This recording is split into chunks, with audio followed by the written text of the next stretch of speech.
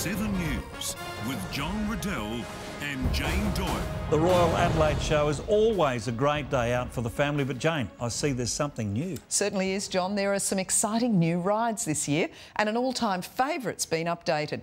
Let's cross now to our amateur correspondent at the show. The Royal Adelaide Show is always a favourite with the ride fans. It's the one time of the year we will we get all these great rides in the same place at the same time. That's right, Rangat.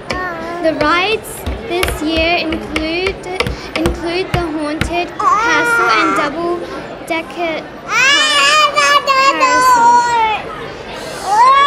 The red Baron flying machine.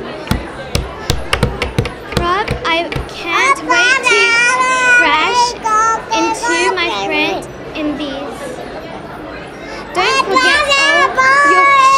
favorites will be back. So you can warm up on the on the classics before trying out the new attractions. Watch Adelaide wa- watch